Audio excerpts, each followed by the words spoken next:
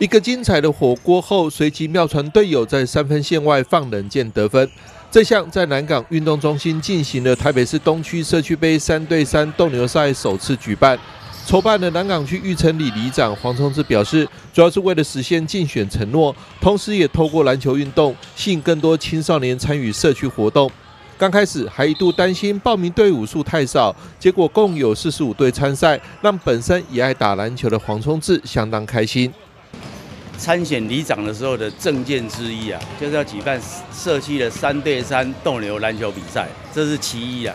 后来发现青少年很重要哦，我们青少年这个族群哦，我们担任里长这些年来，青少年族群比较少参与社区活动，怎么让青少年参与社区活动，一直在绞尽脑汁。那终于这一次，先啊也南港运动中心非常良善美意，提供场地。我们先敲他的时间，我们这个活动办得非常仓促，我因为先敲场地，有场地才能办活动。那场地确定十月一号，我们九月二十一号规划开始规划，哈，然后二十二号公告，二十八号截止报名，啊，就四十二队报名，这对我们这个团队哦，有很很大的一个激励。还有我自己台北科大四队，今年刚好担任会长，也想。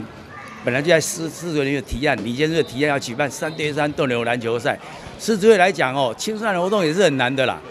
青狮子会要办青少年活动也是很难的，就提案通过，通过，然后用以专区为单位号召几个狮子会，专区有七八个狮子会，所以这一次的活动等于是我们国际狮子会三零零 A one 区，我们台北市台北高大狮子会所属的第二专区底下一些分会，还有义城里办公处。还有中华民国这个龙王龙王篮球协会啊，加上南港运动中心，那当然主办单位是我们南港区体育会。我们是先写计划书送体育会啊，其实其实还在审查，